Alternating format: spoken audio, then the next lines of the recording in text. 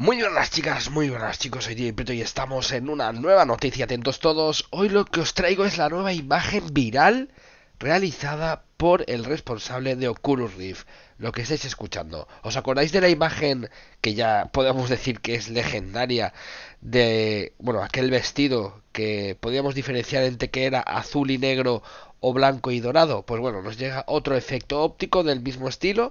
En esta ocasión nos encontramos con dos manos que sujetan dos cápsulas cada una, dos pastillas. La diferencia entre ellas, aparte de que son una mano izquierda y otra derecha, es que el fondo de ambas es de diferente color, siendo una en amarillo y la otra en azul. La causa de esta controversia viene en la parte de las cápsulas, ya que algunas personas ven las dos grises, mientras que otras las ven una azul y otra roja. Yo, por ejemplo, las veo las dos grises, ¿no? Lo cierto es que, eh, pues bueno, vamos a ver, porque en realidad parece ser que nuestro cerebro tiene tendencia a reinterpretar las imágenes teniendo en cuenta el contexto. Así, un color cálido como el amarillo hace que veamos la cápsula azul, mientras que el azul nos hace ver la roja.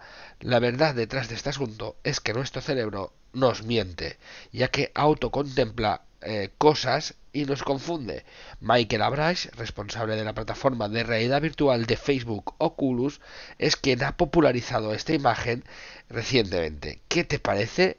¿Ha sido tu cerebro realmente capaz de, eh, pues bueno, de de no equivocarse para ver las grises, comentádmelo, decidme cómo veis estas pastillas y gracias a todos por estar ahí. Hasta la próxima. Chao.